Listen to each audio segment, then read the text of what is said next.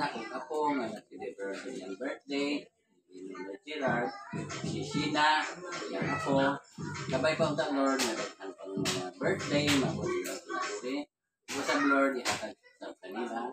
Diya sa matagad daw, daw na uh, guidance, tayo mo sila sa mga dautan, sila din naging sa pagbiyahe ni Lolo, diya matagad daw, trabaho, pagpuli, kasi siya ginawa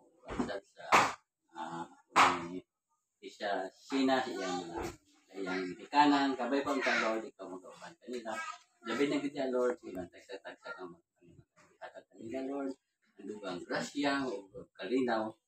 Diya sa matagad daw.